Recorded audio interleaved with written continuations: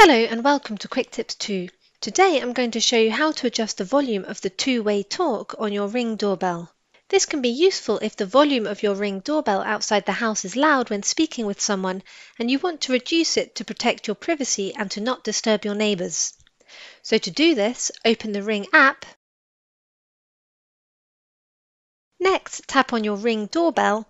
In my case, it's called Front Door. Next, tap on the setting icon on the top right side of the screen. Then tap on Device Settings. Now tap on General Settings. Then Volume Settings. Under Device Speaker, you can now adjust the volume by moving the pointer left or right. This should adjust the volume of the two-way talk on your Ring doorbell. If you have any questions, please leave a comment below the video. With Quick Tips To, knowledge has no limits.